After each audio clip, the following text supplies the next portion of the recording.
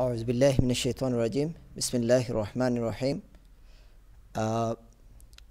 London শাখা কর্তৃক আয়োজিত, আজকের এই খেলাফত মজলিস লন্ডন ব্রাঞ্চ কর্তৃক আয়োজিত, আজকের এই প্রতিবাদ সমাবেশের সম্মানিত সভাপতি উপস্থিত প্রধান অতিথি, খেলাফত মজলিস, খেলাফত মজলিসের যুগ্ম মহাসচিব, জনাব অধ্যাপক আহ, আব্দুল কাদের সালেহ উপস্থিত নেতৃবৃন্দ, সম্মানিত সুদীমণ্ডলী আসসালামু আলাইকুম রহমতুল্লাহ।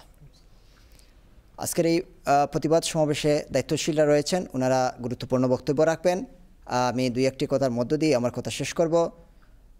প্রথমেই আজকের এই প্রতিবাদ সমাবেশে ট্রাম্প কর্তৃক জেরুজালেমকে ইসরায়েলের রাজধানী ঘোষণার তীব্র প্রতিবাদ ও নিন্দা জানাচ্ছি। সাথে সাথে ওআইসি থেকে পূর্ব জেরুজালেমকে প্যালেস্টাইনের রাজধানী ঘোষণাকে স্বাগত জানাচ্ছি। তো আমি যেটা বলতে চাই যে শুধু পূর্ব জেরুজালেম নয়, পুরা জেরুজালেমকেই প্যালেস্টাইনের রাজধানী ঘোষণা করতে হবে।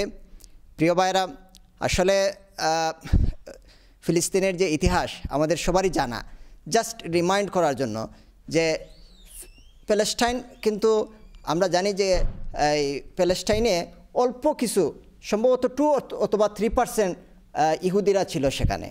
কিন্তু ষড়যন্ত্রের মাধ্যমে এই মার্কিন এবং ব্রিটিশ বেনিয়ারা, সেখানে পৃথিবীর বিভিন্ন জায়গা থেকে উদ্বাস্তু সেই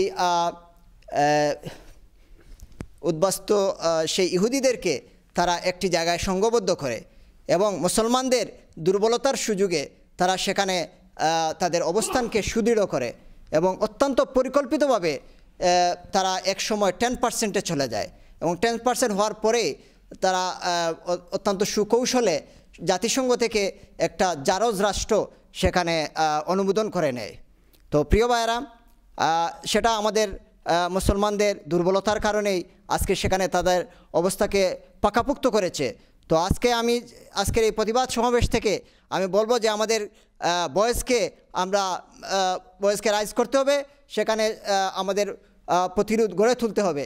আর সেই প্রতিরোধের জন্য আমরা দুনিয়ার যে যেখানে যে মুসলমান রয়েছেন, আমরা সবাই, আমরা ঐক্যবদ্ধভাবে আমরা এর প্রতিরোধ করতে হবে, প্রতিহত করতে হবে। সবাইকে আবারও আন্তরিক মোবারকবাদ জানিয়ে আগামী দিনের সকল সংগ্রাম অংশগ্রহণের আহ্বান জানিয়ে আমার কথা এখানে শেষ করছি। আসসালামু আলাইকুম রহমতুল্লাহ।